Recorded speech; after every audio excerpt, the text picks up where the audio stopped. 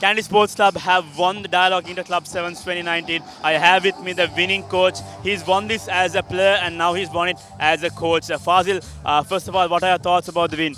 I think uh, we played a good tournament. Uh, we have good individuals, but uh, we played as a team. That is the difference uh, in this uh, tournament. Uh, Fazil, coming to the final, uh, what was the thoughts? You're playing CR and FC, a tough side. They have some national side, national numbers as well. What was the game plan for Kandy Sports Club? I think mainly was uh, the kickoffs. We need to win our kickoffs, and uh, so that was the main uh, focus on us. Uh, we did, well. Uh, Danush and uh, Jason did well, so we got the ball and we attacked. Uh, Fazil, you've got yourself some new signings, uh, Kavindus Perera especially. Uh, talk about his involvement in the game.